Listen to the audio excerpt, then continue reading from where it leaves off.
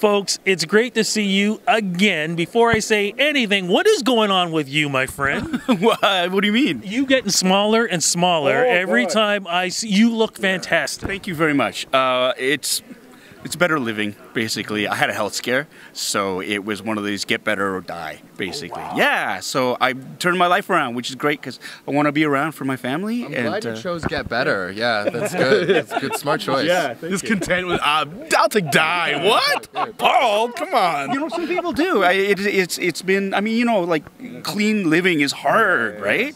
And for like 45, 44 years, it was just like, yeah, I'll eat whatever, and no consequences. And now it's like, no, there's a bill to be paid, and so it, it really is just about being disciplined and finding that balance. So you're not. You can still enjoy yourself, but you got to be better. So, Yeah, you're- yeah. But the best thing is, you, you, you're looking slim and trim, but you put on that plaid shirt and you go into the store, and I'm like, there's Appa. He, Appa's smaller, but it's still Appa, and that's that's what's great. And it's a great show too. It's been in the hearts of everybody, families across this country. Um, you know, we always keep saying the same things over and over again. How does it feel making the impact that you guys have done with this show, bringing sitcoms back, but doing it in such a special Canadian way? Uh, it's incredibly satisfying and really gratifying, especially when we hear from fans, whether we bump into them on the street or on Twitter. There are a lot of people who are just really excited um, to see a family that they recognize and to see a milieu where where pe people are coming from all over the world and and crossing paths in in in Toronto in our convenience store. So it's it's really really um, gratifying. But we should explain though, um, we're missing somebody because this isn't the whole family, are we? No, no, we're missing. Uh, we're missing Andrea and Nicole. I think Andrea can. I know who Nicole is. Who's An- Andrew? Who? Andrea, who's that? She plays your daughter. I have a daughter.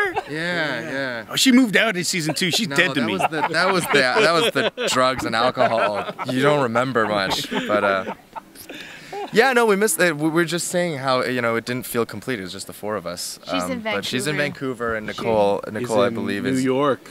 Yeah, Yeah, she's in New York this weekend. What's yeah. she doing? Celebrating her birthday. Oh, yeah. Hey, we gotta say happy birthday. Okay. Uh, to Nicole, happy uh, happy, Happy birthday, Birthday, Nicole. Oh. Hey, also though, none of us got invites to your birthday party, so we're just also that. Yeah, just feel a little weird. We should bring that up. yeah.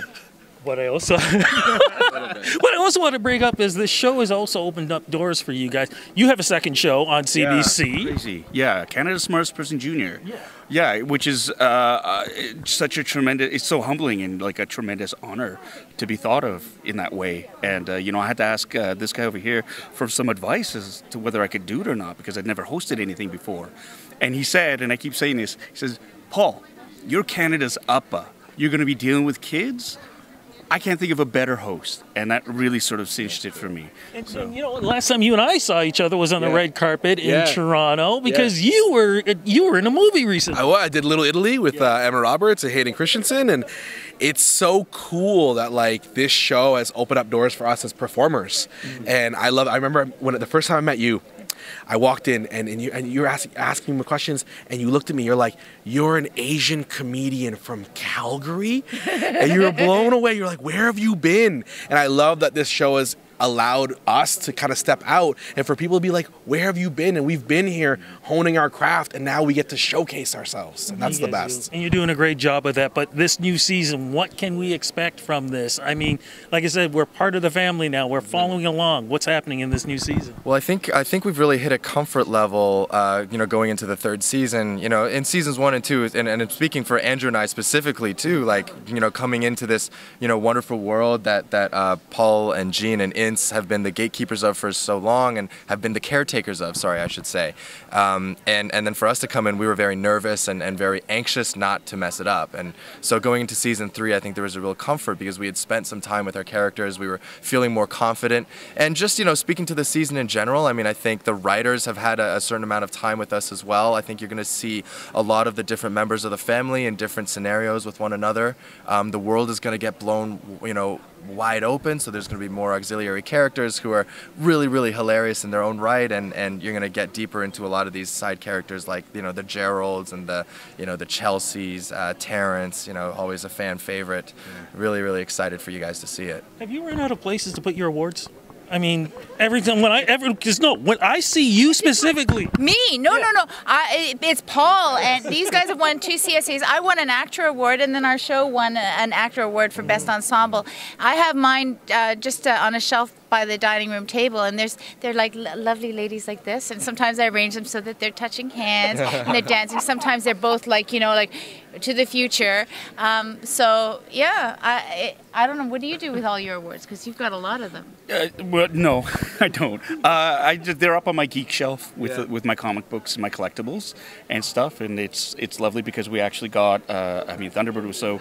Uh, uh, Yvonne gave us all uh, a copy of the statue uh, for when we bu- Best went for best ensemble. So that's in the middle, and my two CSAs are kind of flanking it on the sides, and it's it's a nice reminder, um, and uh, you know, to just sort of things that are possible when you're given an opportunity you know? And that, that's the biggest thing is like to, to let us through the door and give us a chance to show everyone else what we can do and i think that's that's been the biggest thing. It's not how you get the opportunity it's what you do with it and uh, blessed to have such amazing support all across the board for that so Okay, well, I just need to know: is there any chance that you guys might need, I don't know, a black Canadian neighbor that can hang out and help you guys out? I don't know. Do you need milk? Do you need the newspaper? Do you need a candy? Do you need to to rent a car? Yeah. We know. Do you know how place. to rent cars? Because I, I think we could we could use you on our team, right? Do you need a potato chip? Uh, spaghetti-o? Shazam hand? Somehow, We have all kinds of things for you. This is why I love these people, and this is why I love this show. Folks, congratulations on the new season. I cannot wait to see it, and cannot wait to see you guys once again on the red carpet because it's going to happen again. Congratulations. Thank you so thank you much, so Rudy. much, Thank Rudy. you.